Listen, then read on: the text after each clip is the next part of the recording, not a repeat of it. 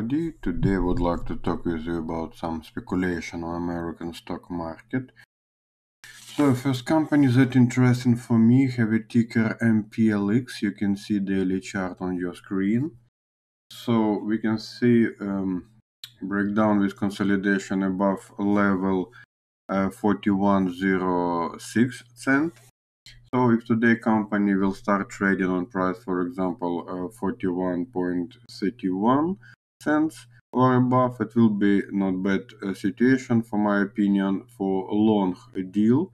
Of course, with uh, protection orders like stop loss below this level or below minimum price of this bar. Next company have a ticker CHGG. we can see false breakdown with one bar for level um, 7.32 cents. So if today company will start trading on price, for example, uh, 7.60 cents or above, it will be good situation for a long deal uh, with stop loss order below 7.30. Next company, ticker uh, ERF, Enerplus Corporation.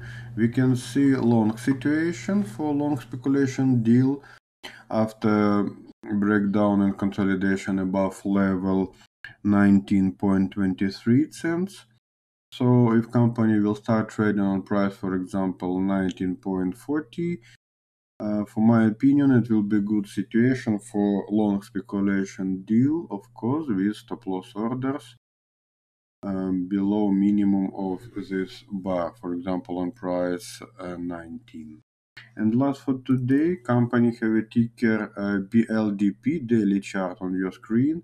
You can see consolidation for level uh, 2.66 cents so if a company will start trading on uh, on price, for example, uh, 2.676 uh, or above, it will be a good situation for a long deal with very small stop loss orders below level. For example, on price 2.65 or 60 minimum.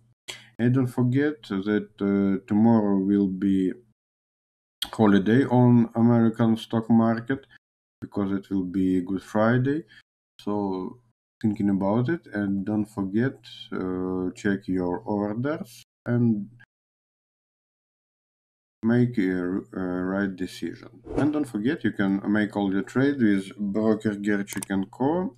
So don't forget open your account and um, make your deals. See you soon on next video. Goodbye and take care.